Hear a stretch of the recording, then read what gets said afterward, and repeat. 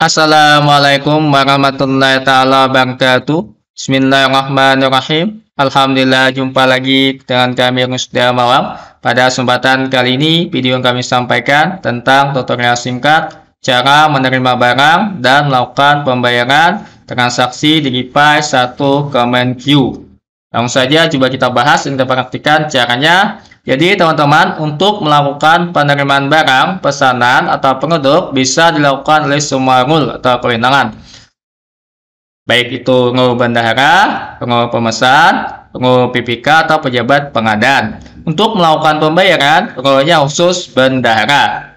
Langsung saja coba kita praktikkan. Di sini kami login dengan rule bendahara saja teman-teman. Sekaligus nanti untuk melakukan pembayaran.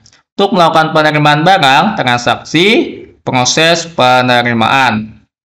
Tinggal di bagian aksi, klik setuju teman-teman, atau proses terima. Oke, ada isian seperti ini, jumlah pesanan 10, yang diterima berapa. Bisa semua barang sudah diterima, tinggal ditulis sejumlah barang yang ada 10. Setelah itu klik simpan.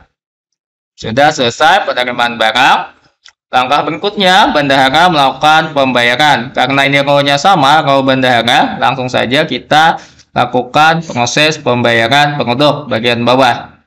Jika ada pajak, silakan bayar pajaknya juga. Pembayaran pengodok, klik saja.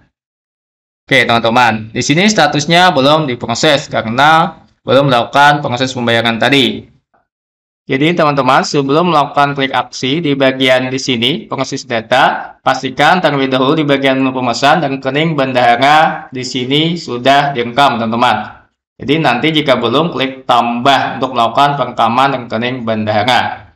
Sekarang kita akan lanjutkan ke pembayaran pengodok tadi.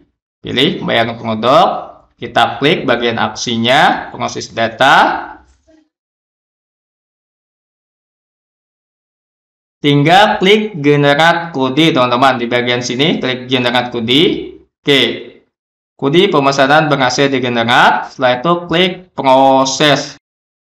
Ini data berhasil disetujui. Tinggal melakukan pembayaran di virtual akun bendahara. Nanti tergantung jenis pembayarannya, pakai KKP atau virtual akun.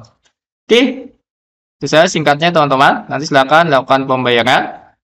Mohon maaf jika ada penjelasan yang kurang atau ada yang salah. Semoga ada manfaatnya. Yang kata bila taufik. Wassalamualaikum warahmatullahi wabarakatuh.